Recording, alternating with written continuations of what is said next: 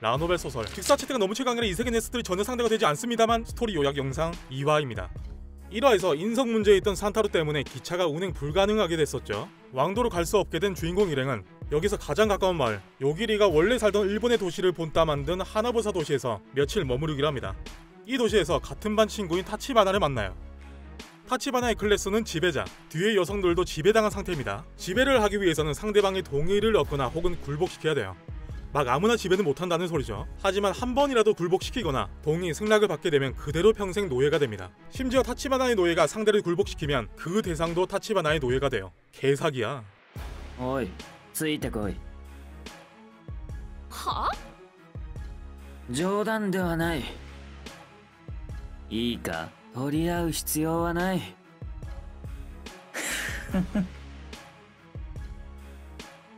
デブではないザレ事だ逃れられないんだよいいレベルだとしてもこの狂った世界もろとも終わりなんだありがたく思え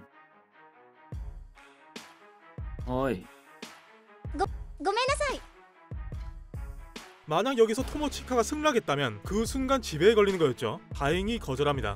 安心しろ 悪いようにはしない 어쩜 반학생들이 이렇게 하나같이 다 인성이 좋을까? 주인공 일행도 호텔에서 며칠 묵기로 합니다. 며칠 후 호텔 복도에서 누군가가 단노우라를 감시하고 있어요. 타치바나 치니데라고 쓰고 노예라고 읽는 에리카라는 여성이었죠. 자기 주인이 토모치카한테 관심을 보였기 때문에 그에 대한 시기, 질투를 하는 거였고 거기서 더 나아가 토모치카를 살해하기 위해 복도에서 살해를 품은 상태로 은신 스킬을 쓰고 대기 타고 있던 거였어요. 지금까지 설명 안 한 게 있는데 요기리는 즉사 능력 외에 또 다른 능력들을 가지고 있습니다. 하나는 살의를 감지하는 능력, 또 하나는 죽음의 위기를 감지하는 능력. 요기리는 살의라는 감정을 육안으로 볼 수 있어요. 대충 이런 식으로 보입니다. 이 살의 감지 능력과 즉사 능력을 조합하면 나에게 살의를 품고 있는 것만으로도 상대는 죽는다라는 게 가능해요. 즉사 능력이 passive, 자동 반격이 되는 거죠. 제가 1화에서 즉사 능력을 쓰기도 전에 죽이면 되지 않나? 라고 했었는데 이러면 상대의 공격이 아무리 빨라도 의미가 없어지는 거죠. 물론 만능은 아닙니다. 사리를 품은 상대가 수킬로미터 이상 멀리 떨어져 있다면 이건 감지 불가능해요. 너무 멀어서 사리가 요기리가 있는 곳까지 도달하지 않아요. 요기리의 사리 감지 범위가 굉장히 좁은 편인 것도 덤이고요. 사리를 품는다고 해서 어디에 있든 다 죽일 수 있는 건 아니라는 소리죠. 또 하나는 죽음의 위기를 감지하는 능력. 사리가 느껴지지 않는다 하더라도 요기리를 죽음의 위기에 빠지게 만드는 상황들은 모두 사전에 미리 감지가 가능합니다. 그 대신 사리가 없는 공격은 자동 반격이 불가능해요. 자 여기서 이렇게 생각할 수 있죠. 죽음을 감지해도 피할 수 없는 공격이라면.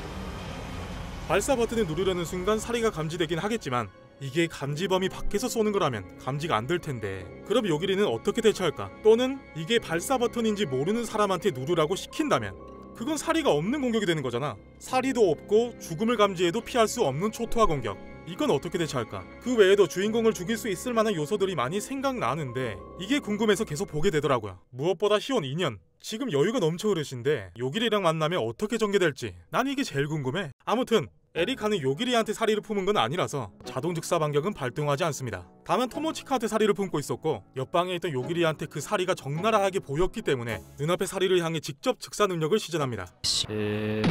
그렇게 에리카는 사망해요. 얼굴을 직접 본 건 아니라서 누가 죽은지도 몰라. 난다. 가에라레타. 집에 걸린 벌레들을 이용하여 호텔 내부를 관찰합니다. 토머치카가 있는 호텔방 앞에서 에리카가 전조도 없이 죽었다는 걸 확인해요. 아이츠라와 이번엔 타치바나 친위대 중 리자라는 여성이 주인공 앞에 나타났는데 얼음으로 주인공들을 가둡니다. 거래서 아? 기타? 거래서 얘는 지팡이 없으면 마법을 못 씁니다. 전이 상실. 갑자기 인형들이 기습해옵니다. 사리가 감지돼서 다 죽어요. 숨어있던 인형술사 첼시는 즙을 짭니다. 전의상실. 혼란은 틈타 리자가 다시 덤비려다가 역으로 사망. 나, 난다. 바카나. 리자까지 죽자 안 되겠다 싶었던 다치바나는 바퀴벌레 때를 보냅니다. 고기브리 원격 조종으로 요기리를 죽일 심산이었죠. 바퀴벌레한테서 타치바나와 연결되어 있는 아기가 느껴진다고 합니다. 하지만 아기만으로 즉사시키는 건 불가능하죠. 그때 명령하는 순간 아기가 사리로 변합니다. こういうことが増えた殺す 타치바나 사망. バリバリに使えるの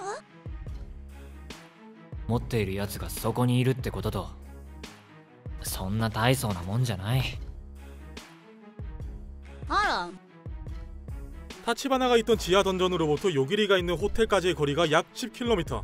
원래라면 너무 멀어서 사리가 요기리가 있는 곳까지 도달하지 못하지만 지배자라는 능력을 통해 바퀴벌레와 주인이 이어져 있었죠. 때문에 도달할 리 없던 사리가 바퀴벌레를 통해 호텔까지 도달하게 된 것. 그렇게 요기리 눈앞에 사리가 노출돼서 역으로 죽게 된 거였어요. 주인이 죽자 노예들한테 걸려있던 지배 능력이 풀립니다. 노예들이 제정신으로 돌아와요.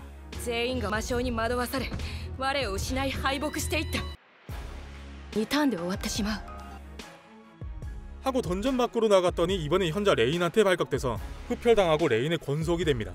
노예 풀린 지 얼마나 됐다고 또 노예가 돼? 주인공 일행의 시점. 호텔 밖으로 나왔더니 도시 일부가 폐허가 되어 있습니다. 왜 그런 거 아니? 요기리의 말살을 명령받았던 불사기단이 도시와 주민들을 무차별 공격하고 있던 거였죠. 殺されて人間が生き残るのはおそらく寝かすか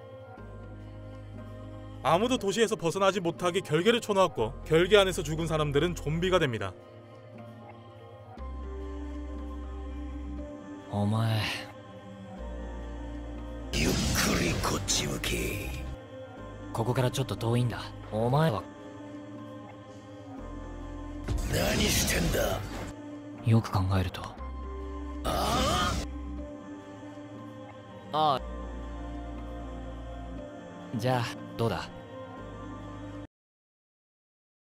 お前らぶちのめす。ボコボコにしてやった。どうだ？戦いっぷりはよ。死ね。マジで？悪いんじゃないか？なぜを聞きてえ？まさかお前ら。何なんだ？当然じゃないかどうでもいいだろうぎぎぎおだ殺すどうだか 마사유키의 얘기를 들어보니까 요기리는 현자한테 받은 능력이 아닌 듯합니다. 그러니까 이 세계에 존재하는 직사 마법이 아닐 수 있다는 것. 게다가 시온한테 능력을 부여받은 애들은 배틀송 시스템을 근간으로 마치 게임 같은 화면이 눈앞에 펼쳐지는 게 정상인데 요기리는 그런 화면이 보이지 않았다고 합니다. ああ お前は詳しく説明してもらおうか。私をあだなす者をせば大定額着実に数を伸ばしております。これ以上票を獲得される前に手を打つべきでは。そうやって決めつけているだけでは考えられないというわけか。殺されるわけがない。だがご意向ですそうだな執行しようか 레이는 심히 능지를 굴립니다. 사리를 품지만 않으면 된다. 수많은 분신들을 생성. 타카토 요길이라는 인물에 관한 기억을 모조리 제거시킵니다. 그 인물에게 일체 사리를 품을 수 없도록 말이죠. 그리고는 하나부사 도시를 파괴하라는 각계의 돌격 명령을 내립니다. 요길이를 직접 노리지 않고 도시 전체를 무작위로 파괴해서 스플래시 데미지에 말려들게 하여 죽일 가능성을 노린 거였죠. 요기리의 신체 능력은 일반인과 다를 바가 없기 때문에 충분히 가능성이 있다고 보는 거였어요. 참고로 영상 1화를 포함하여 지금까지 보셨던 레인들은 모두 분신입니다. 본체는 단 한 번도 모습을 드러낸 적이 없어요. 그것이 자신이 불사인 이유라고 합니다. 어떤 공격을 당해도 눈 깜짝할 사이에 재생하는 분신, 설령 죽게 된다고 해도 분신은 무한대, 본체는 전혀 다른 장소에 숨어 있고 지금 다른 분신들한테 명령을 하니 얘도 분신입니다. 이 분신들은 본체와 독립된 자아를 가졌어요. 본체와 이어져 있지 않습니다. 혹여라도 본체한테 조금이라도 영향을 줄 수 없도록 조치해 놓은 거였죠. 하지만 레인은 그렇게까지 조치했음에도 자신이 죽을 수도 있다는 가능성을 결코 배제하지 않습니다. 아주 철두철미한 여자예요. 레인은 옛날부터 어떤 아이를 구원하기 위해 제거하고 싶은 존재가 한 명 있었습니다. 하지만 현재 레인의 힘으로는 어떻게 해볼 수가 없어요. 그렇다면 만약 요기리가 자신을 죽일 수 있을 정도의 존재라면 요기리가 레인보다 훨씬 뛰어난 존재라는 게 입증된다면 자신의 염원을 요기리가 대신 이루어줄 수도 있지 않을까라는 희망을 걸고 자신과 완전히 독립된 복제품을 하나 만들어둡니다. 분신하고는 본질이 달라요. 피콜로 대마왕이 아르나운 것처럼 거의 환생 같은 존재를 즉 자신이 정말 죽었을 때의 보험을 하나 들어둔 거죠. 유크조 치코시로! 난난다. 야까마시. 분신들이 대거 사망합니다. それを利用することで使ったということだだからこそわざわざ知らせたのだ 百花王から追い出すべきですちゃんと残っていたぞ念のためだわざわざ知らせたのだ 또 다른 분신들이 도시를 초토화시킵니다. 죽여도 죽여도 끝이 없는 물량 공세. 주인공 일행한테 절체절명의 위기가 찾아오려는 순간